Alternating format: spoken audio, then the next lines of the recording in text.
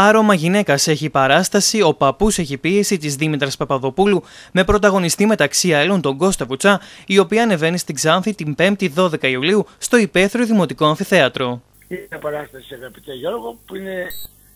Έχει, εκείνο που εγγυώμαι είναι ότι έχει γέλιο. Και όποιος δεν γελάζει να μου κάνει μήνυση, να πάρει τα λεφτά του πίσω. Είναι μια παράσταση που μεγαλώνει κατά μισή ώρα από το πολύ γέλιο. Όταν γελάει ο κόσμος δεν μπορούμε να μιλήσουμε. Γιατί άμα μιλήσουμε πάνω στο γέλιο δεν θα, ακούσουμε, θα κόψουμε και το γέλιο και θα ακούσουμε τα λόγια. Και αυτός ο χρόνος είναι κάπου μισή ώρα. Και συστήνω και στις γυναίκες που θα έρθουν στην παράδοση να πάρουν και σερβιέτες μαζί τους και θα γελάζουν πάρα πολύ, να κατορθούν πάνω με τα γέλια. Το έργο, να σου πω, ο παππούς έχει πείσει, είναι έργο της Δήμητρας Παπαδοπούλου.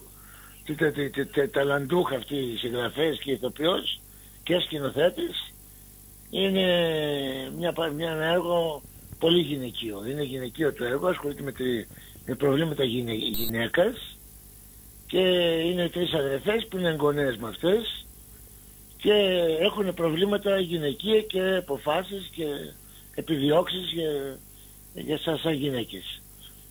Είναι μια παράσταση που έχει μέσα και πολιτική χρειά. Δεν είναι μια παράσταση απλώς για να κάνουμε γέλιο έχει και μηνύματα πολύ ωραία πάνω, πάνω στην πολιτική, πάνω στο, σε θέματα των γυναικών. Τα προβλήματα των γυναικών λύνονται μέσα από το έργο. Λύνονται. Προσπαθούμε να τα λύσουμε μέσα από το έργο.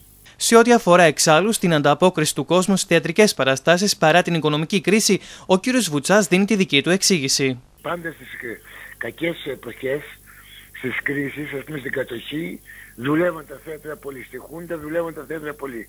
Τώρα που έχουμε άλλη μια κατοχή, γερμανική πάλι δουλεύουν τα θέατρα.